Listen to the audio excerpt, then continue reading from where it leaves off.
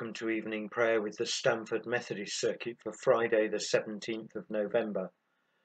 This week's evening prayers have been guided by the theme suggested by the Methodist Church Prayer Handbook, the God of Abraham, and our scripture readings are being taken from the first book of the Bible, from Genesis. We begin our prayers this as this evening as we have every evening this week, using some words written in the 19th century by Cardinal John Henry Newman. Let us pray.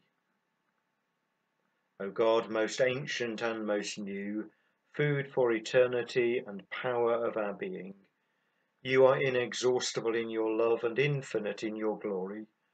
You are the source of all goodness and fountain of all life.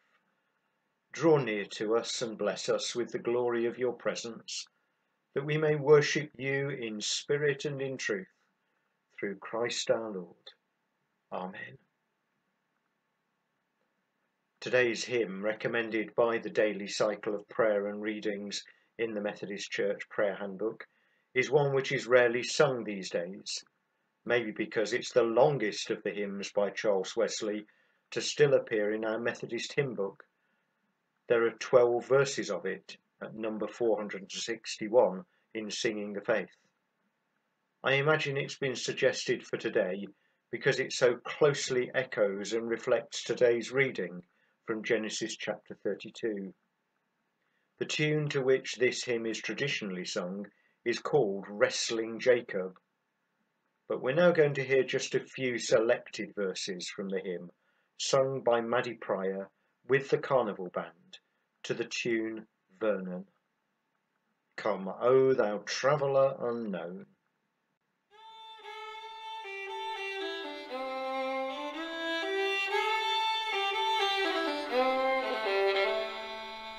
Come, O thou traveller unknown, whom still I hold but cannot see.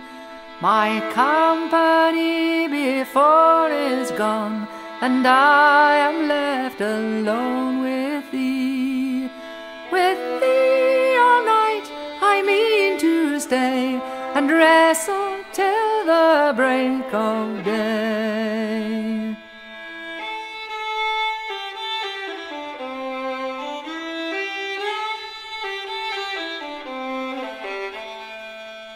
I need not tell thee who I am, my misery and sin declare.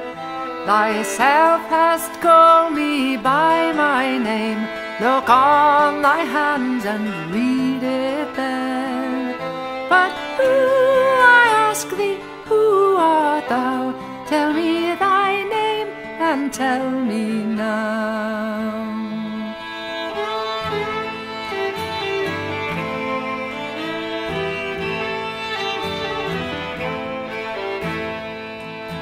In vain thou strugglest to get free. I never will unloose my hold. Art thou the man that died for me? The secret of thy love unfold. Wrestling, I will not let thee go till I thy name, thy nature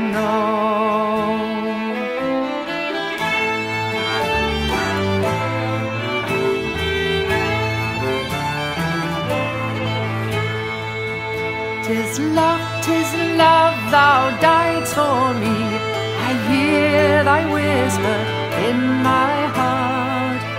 The morning breaks, the shadows flee. Your universal love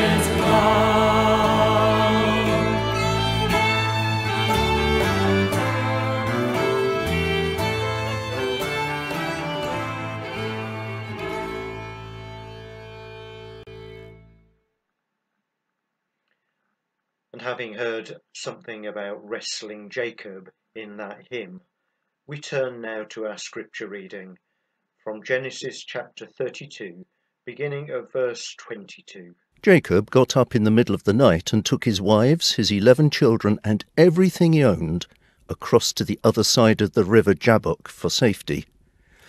Afterwards, Jacob went back and spent the rest of the night alone. A man came and fought with Jacob until just before daybreak. When the man saw that he could not win, he struck Jacob on the hip and threw it out of joint. They kept on wrestling until the man said, Let go of me. It's almost daylight. You can't go until you bless me, Jacob replied. Then the man asked, What is your name? Jacob, he answered. The man said, Your name will no longer be Jacob. You have wrestled with God and with men, and you have won. That is why your name will be Israel. Jacob said, Now tell me your name. Don't you know who I am? he asked. And he blessed Jacob. Jacob said, I have seen God face to face, and I'm still alive. So he named the place Peniel. The sun was coming up as Jacob was leaving Peniel. He was limping because he had been struck on the hip, and the muscle on his hip joint had been injured. So we heard that Jacob received a new name, Israel, which means one who struggles with or contends with God. Jacob received this new name, and his descendants would also take the name Israel, marking them out as a people of struggle. But with his new name, struggling, wrestling Jacob also receives a blessing. The story of Jacob's life is a story of never ending struggle. His family background was characterized by deep seated hostility. Jacob himself was a con artist who himself had been conned, a liar who had been lied to, a manipulator who had been manipulated. In many ways, he lived up to the meaning of his name, literally, heel catcher. Like the promise made by God to his grandfather Abraham, Jacob, Israel, was to become a great nation through whom the whole world would be blessed. Despite being the recipient of this amazing promise, Jacob was a frightened and anxious man. His brother Esau had vowed to kill him. His uncle Laban had cheated him for years, and even Jacob's two wives were at odds with each other. By this point in his life, he knew that Esau, his twin brother, whose birthright and blessing Jacob had stolen, had set out with a small army to track Jacob down. No wonder Jacob was anxious and afraid. To try to ensure his survival, Jacob had divided his possessions and sent his wives and children across the Jabbok River. He'd also sent lavish gifts to Esau in the hope of pacifying him. And then Jacob settled down for what turned out to be a restless night. We might wonder whether his restlessness was linked to his disturbed or guilty conscience a sense that his past was about to catch up with him. The outcome of the wrestling, which was maybe like being tossed about by a bad dream, was that the mysterious stranger blessed Jacob, and the blessing seems to have been effective. The following chapter of Genesis records how his brother Esau received Jacob warmly. The story of Jacob pulls us back to reality as we think about the struggles with weakness and failure in our own lives. We are haunted by the sense that sooner or later our past will catch up with us. But in Jacob's experience, we recognize the struggle with things which at various times are, re- are a reality in our lives. Things like fear, darkness, loneliness, vulnerability, emptiness, exhaustion, and pain. In the end, Jacob did what we all must do. In his fear and his weakness, alone and separated from his family and unable to depend on his possessions, he faced and wrestled with God. It was a demanding, exhausting, and wounding experience for Jacob, something which he carried the evidence of in his body throughout his life.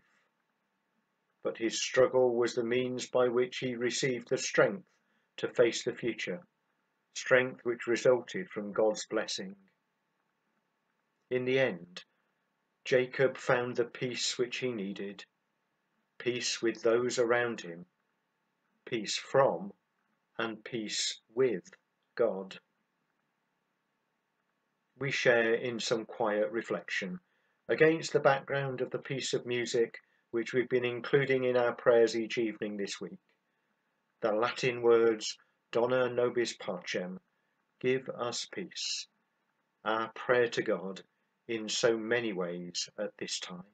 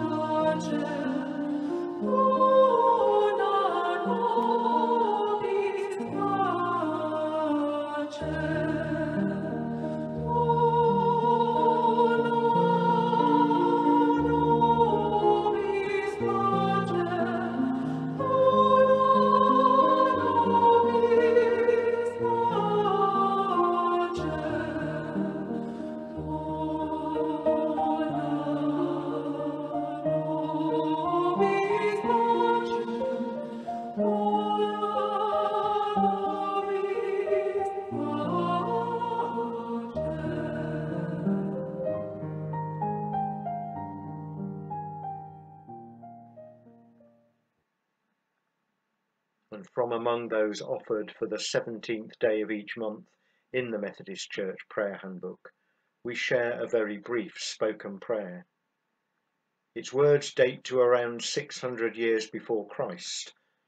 They use an English translation of words from the Indian Upanishad texts. This prayer seems very appropriate in light of our reflections this evening. So let us pray. From falsehood, lead us to truth. From darkness, lead us to light. From death, lead us to immortality. And we pray the Lord's Prayer together. Our Father, who art in heaven, hallowed be thy name. Thy kingdom come, thy will be done on earth as it is in heaven. Give us this day our daily bread and forgive us our trespasses, as we forgive those who trespass against us. And lead us not into temptation, but deliver us from evil. For thine is the kingdom, the power, and the glory, for ever and ever. Amen. May Jesus, the Prince of Peace, descendant of Abraham, enter today into our minds and souls helping us to transform conflict into peace in our own small corner of the globe. May we never doubt that good can triumph over evil throughout the whole of creation. Amen. Thank you for sharing in this time of prayer. God bless you.